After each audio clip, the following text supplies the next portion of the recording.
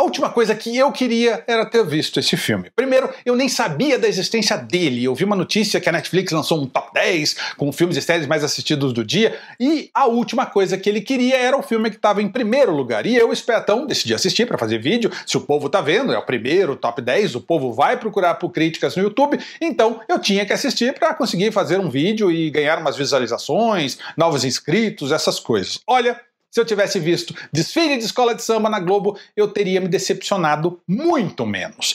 A última coisa que ele queria é, com sobras, o pior filme do ano. E dificilmente algum filme de algum grande estúdio vai conseguir tirar essa posição dele. O seu lugar está reservadinho para entrar lá no Prêmio Rabugento 2020. Mas antes de eu falar sobre o filme, eu tenho que pedir o seu like. Deixa o seu like, ele ajuda demais o meu trabalho. Se você gosta do meu trabalho, se você gosta dos vídeos que eu faço, deixa essa curtidinha. É muito bom e ajuda bastante. Se você já deixou curtidinha, então vamos lá! Baseado em um romance de Joan Didion, o enredo é sobre Helena McMahon, uma repórter investigativa que escreveu uma matéria bombástica e reveladora sobre o comércio ilegal de armas na Nicarágua e o envolvimento dos Estados Unidos nisso, enquanto rola a campanha presidencial de Ronald Reagan em 1984. A matéria é cancelada pelo jornal, ela é mandada para cobrir a campanha presidencial e eis que surge o seu pai, do nada, até então ausente na sua vida, e descobrimos que ele está envolvido com o tal lance de venda ilegal de armas para as milícias. Aí ele fica doente e pede para Helena assumir o seu lugar e ela, sabe-se lá porque, assume e se mete em altas confusões. Como eu disse, eu nem sabia da existência desse filme, que é dirigido por Dee Reese, que dirigiu Mudbound,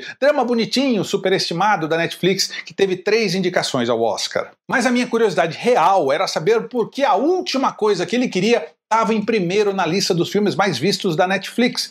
E eu me surpreendi. É um filme sobre política externa americana dos anos 80. Sabe quem se importa com esse assunto? Ninguém. Nem os americanos se lembram mais que isso um dia aconteceu. E o pior, conversa menos ainda com o público brasileiro. Modo Avião, filme da Larissa Manoela, eu até entendo de estar na lista dos mais vistos, mas a última coisa que ele queria não, nem faz sentido. E o pior de tudo é que é um filme muito ruim, mas muito ruim mesmo, ruim nível Super Saiyajin. Tirando a cara do Ben Affleck no pôster, que é uma tremenda enganação, já que ele aparece só uns 3 minutos no filme no total, eu não vejo nenhum outro motivo para você querer ver esse filme. E se você assiste um filme só por ter visto a cara do Ben Affleck no pôster, tá de parabéns, né?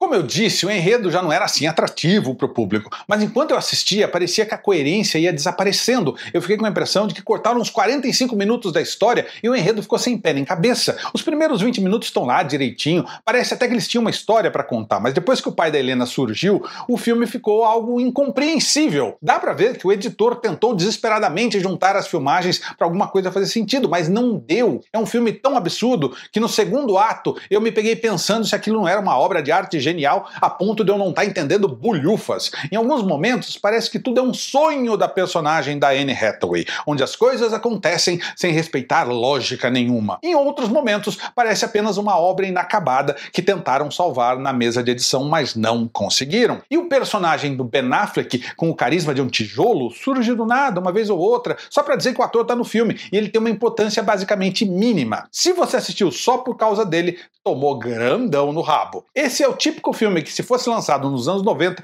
ninguém veria. É aquele filme que ficaria jogado no fundo de uma locadora juntando pó, para quem ainda se lembra do que era uma locadora. Se fosse lançado no cinema, seria uma daquelas flopadas espetaculares, mas como foi direto pro streaming, vai ter mais gente vendo do que ele merecia. Mas, por favor, não faça isso com você. Serão duas horas que você não vai ter de volta, eu garanto que não vale a pena. Depois de assistir essa porcaria, eu coloquei dois episódios de Young Sheldon só para espairar qualquer outra coisa na minha cabeça. Socorro! Você foi, assim como eu, um dos enganados que assistiu essa porcaria da Netflix? Deixa um comentário dizendo o que você achou dele. Eu aposto de real que ainda vai ter um ou outro sujeito dizendo que o filme é bom.